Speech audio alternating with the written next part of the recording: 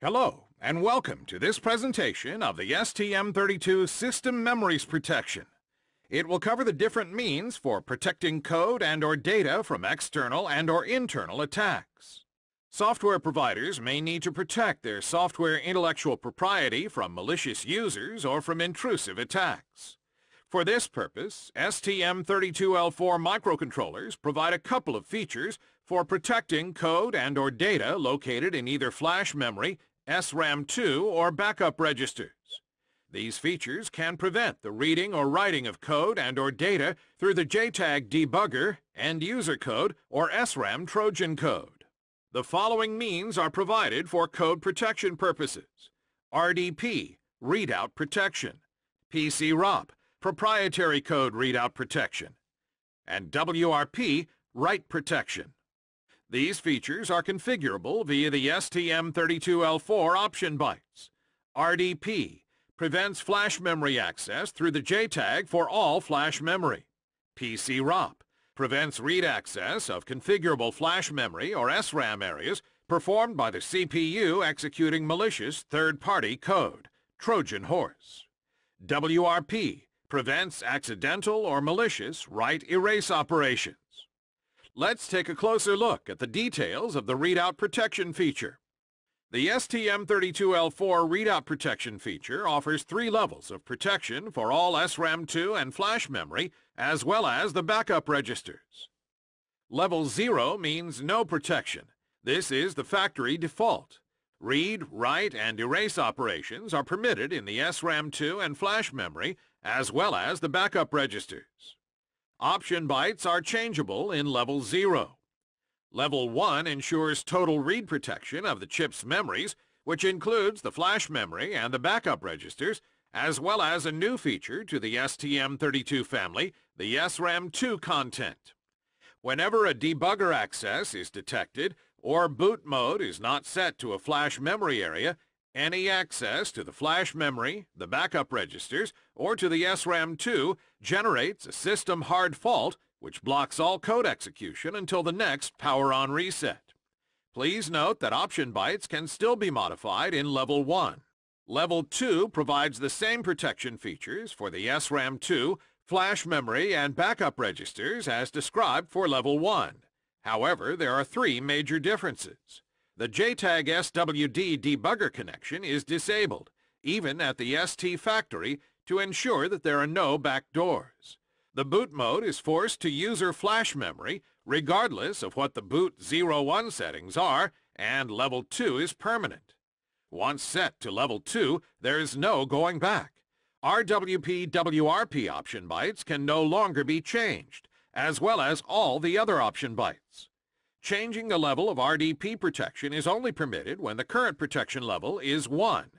Changing the protection level from 1 to 0 will automatically erase the entire user flash memory, SRAM2, and backup registers. This table summarizes the different types of access authorized for the flash memory, backup registers, and SRAM2 according to the readout protection or RDP level, configured boot mode, and debug access as previously discussed. In summary, when RDP is set to level 0, no protection mechanism is active and all memories can be read and modified. When RDP is other than level 0, if the device is configured to boot from the user flash memory, then the user flash memory, backup registers, and SRAM2 can be read or modified regardless of the RDP level. The system flash memory can be read-only. The option bytes can be read only when the RDP is set to level 2. Otherwise, if the device is not configured to boot from the user flash memory, or if a debugger access is detected, then almost all memories are not accessible except the system flash memory, which can only be read in level 1, and option bytes which can be read or modified in level 1.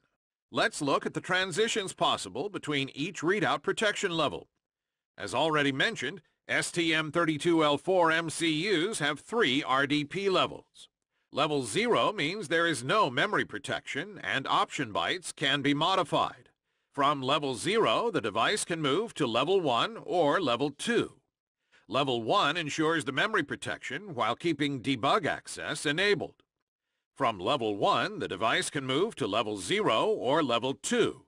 Regression to level 0 will cause a flash memory mass erase. Level 2 ensures the memory protection the same as level 1, but completely disables JTAG SWD debug access. Level 2 is a permanent state, and moving to another RDP level is not possible. Let's take a closer look at the details of the proprietary code readout protection, or PCROP, and how it's different from RDP. PCROP means Proprietary Code Readout Protection. Why PCROP? Proprietary Code Readout Protection is basically a way to protect the confidentiality of third-party software intellectual property code independently of the RDP level setting. Third parties may develop and sell specific software IPs for STM32 microcontrollers, and original equipment manufacturers may use them when developing their own application code. Proprietary code readout protection helps protect the confidentiality of third-party IPs and protects software intellectual property against malicious users.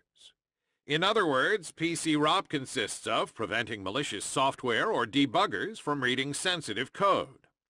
The protected area is execute only and can only be reached by the STM32 CPU as an instruction code, while all other accesses, DMA, debug, and CPU data read, write, and erase are strictly prohibited. This means that the code to be protected must be compiled using a specific compiler option. For example, dash execute underscore only for Keil tools. The proprietary code readout protected areas in flash memory are defined through the option bytes. The PCROP feature is improved on the STM32L4 devices. Two separate PCROP areas can now be set independently, one per bank, each one defined by a start and end address with a granularity of 64 bits. Note that once a PCROP area is configured, its size can only be increased. Once the PCROP areas have been defined, the only way to disable this protection feature is to change the RDP protection level from 1 to 0, which erases the entire flash memory. STM32L4 microcontrollers have a new feature that prevents the code in the PCROP areas from being erased during the regression operation. By setting the PCROP RDP bit in the option bytes, the code in the PCROP areas will not be lost.